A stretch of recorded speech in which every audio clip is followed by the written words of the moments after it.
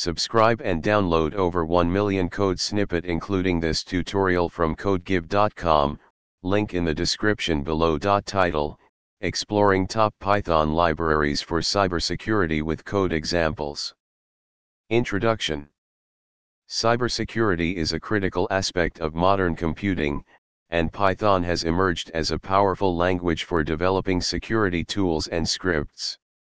In this tutorial, we will explore some of the best Python libraries for cybersecurity, along with code examples demonstrating their usage.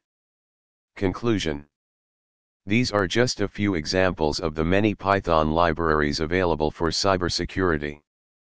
Depending on your specific needs, you may also explore libraries like HashLib for hashing, Paramiko for SSH communication, and nmap for network scanning.